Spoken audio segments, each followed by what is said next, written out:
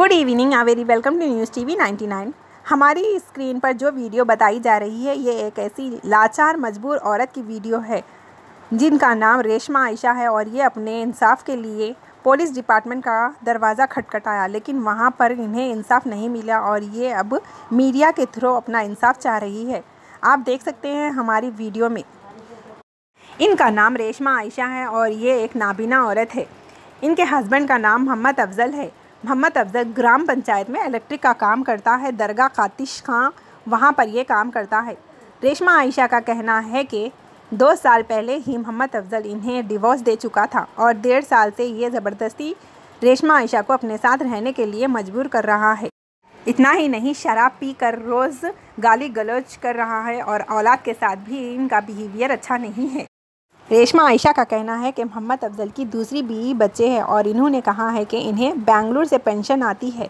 और ये जितने साल इनकी शादी हुई है, तब से ये मोहम्मद अफजल को हर महीने दस हज़ार रुपये देते आई है और इनके दो ज़ाती घर थे, वो भी मोहम्मद अफजल बेच डाले और इन्होंने डेढ़ लाख के करीब पैसे मोहम्मद अफजल को दिए हैं।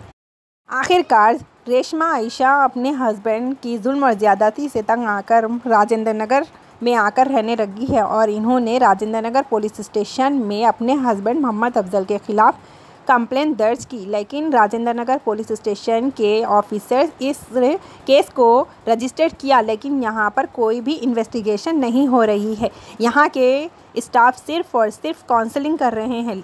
काउंसलिंग करना बहुत अच्छी बात है, लेकिन कब तक? जब कोई औरत किसी के साथ ज़िंदगी गुजारना नहीं चाह रही है तो सुप्रीम कोर्ट का ऑर्डर है कि इस केस को रजिस्टर्ड करें और इससे इंसाफ दिलाए, ना कि सिर्फ़ और सिर्फ़ काउंसलिंग करते रहे।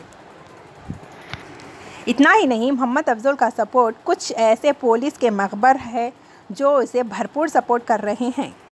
और इस लाचार, मजबूर औरत रेशमा आयशा पर दबाव डाल रहे हैं कि वो मोहम्मद अफजल के पास वापस आ जाए। और इतना ही नहीं, इसमें कुछ ऐसे मीडिया रिपोर्टर्स हैं जो पुलिस के इन्फॉर्मर है। और ये लोग मोहम्मद अफजल की तरफ़ से मकबरी का काम कर रहे हैं और रेशमा आयशा पर दबाव और धमका रहे हैं कि वो अपना केस वापस ले ले और मोहम्मद अफजल के पास आ जाए। और एक तरफ़ से पुलिस भी इन गुनहगारों का साथ दे रही है। इसलिए आज रेशमा आयशा अपने इंसाफ के लिए लड़ रही है। अगर अपने इंसाफ के लिए लड़ना गलत है तो गलत ही सही। मीडिया को रेशमा आयशा से हमदर्दी है और वो सपोर्ट कर रही है। इसलिए पुलिस को भी चाहिए कि सही और गलत की पहचान करे, ना कि गलत लोगों का साथ दे। पुलिस पब्लिक के लिए होती है और एक तरफ़ से पुलिस ही पब्लिक का सुरक्षा कवच है, इसलिए पुलिस को चाहिए कि सही का साथ दे, ना कि गलत का साथ। और जो पुलिस के इन्फॉर्मर है, वो गलत लोगों का साथ देकर गलत लोगों के मकबर ना बने। जो मीडिया के रिपोर्टर्स हैं वो चंद पैसों के लिए गलत लोगों का साथ दे के उनके मकबर ना बने। और ऐसी ही खास खबरों के लिए बने रहिए कोई और चैनल नहीं है आपका अपना चैनल न्यूज़ टीवी 99 से। मेरा नाम रेशमा आयशा है। जी। मोहम्मद अफजल की बीवी हूँ। जी। ग्राम पंचायत में इलेक्ट्रिशियन का काम करते हूँ हिमाल साहब हम्म, और दरगाह खलीज खान बोल के हैं वहाँ पे करते हूँ। अच्छा क्या प्रॉब्लम है आपको उनसे? वो लोग हमारे को तलाक दे दिए सर हम नहीं रहना चाह रहे हमारे प्लीज़ इंसाफ दिलाइए। मेरे को वहाँ पे कंप्लेंट भी दिए हम लोग। खाली काउंसलिंग चल रही कुछ भी हल नहीं निकल रहा। मेरा सामान वहीं अटके हुआ है। मेरे बच्चे मैं परेशान इधर दूसरी तरफ़ है। जी। हम लोगों को प्लीज़ हम लोगों का इसका हल निकालिए। आप आप आप लोगों के थ्रू मैं हम लोग जाके जल्दी जल्द से जल्द से जल्द फैसला कर लेना चाह रहे जी आप बच्चों टेंशन से पढ़ाई नहीं हो रही बच्चों को। कंप्लेंट करा है आप लोग पुलिस स्टेशन कंप्लेंट में? करे अल्हम्दुलिल्लाह। जी। खाली काउंसलिंग कर रहे हैं उन लोग। और कुछ भी हल नहीं निकला अभी तक। खाली आओ जाओ बोल रहे और हम लोगों को बस एक हम लोग को मदद होना आप लोगों की।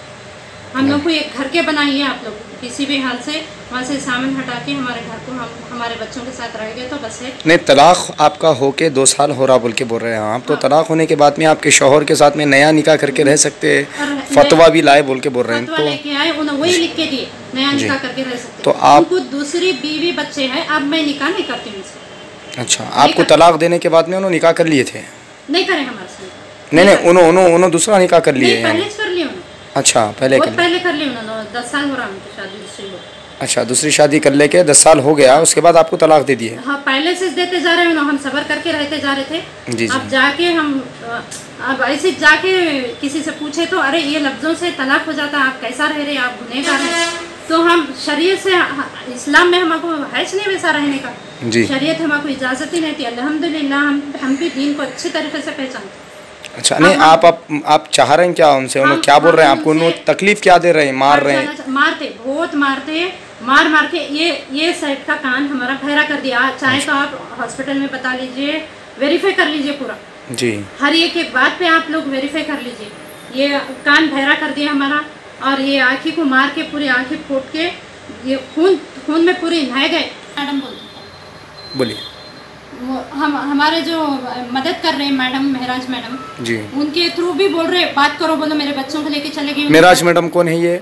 ये महराज मैडम एक एक एसीसी के मैडम हैं। जी। एसीसी के मैडम हैं अल्हम्दुलिल्लाह अल्लाह ताला हमको जजाय खैर अता करे। जी। हमारी इतनी मदद करें उन्हें इतनी मदद करें हम सोच भी नहीं सके।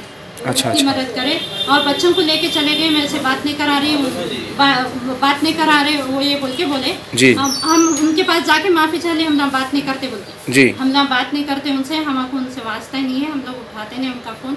हमको उनको वास्ता ही नहीं है। उन्हें कौन है कि गैर महरम हूँ मैं उन्हें तो उनके निके में हूँचने में। तो अच्छा उन्हें कौन सी ज़बरदस्ती से हमको कौन से हक से रखते? ज़बरदस्ती रहो बोल रहे घर में। ज़बरदस्ती रहना करते क्यों रहते? ठीक है। बोलिए आप हम बच्चों से भी आप पूछ ले सकते हैं बच्चों अपनी मर्ज़ी से मेरे साथ है नहीं है आप पूछ ले सकते हैं मैं उनको कोई ज़बरदस्ती नहीं करती।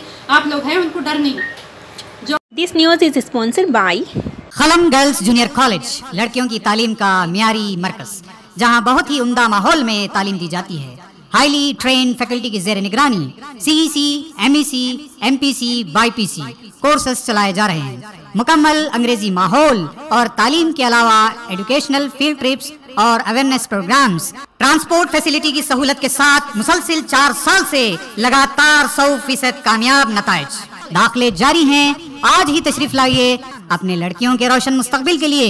आपका अपना इदारा फलम गर्ल्स जूनियर कॉलेज, मजीद तफसीलात के लिए D R D L road Babanagar और तारबंद रोड नजद अनस मॉडल हाई स्कूल।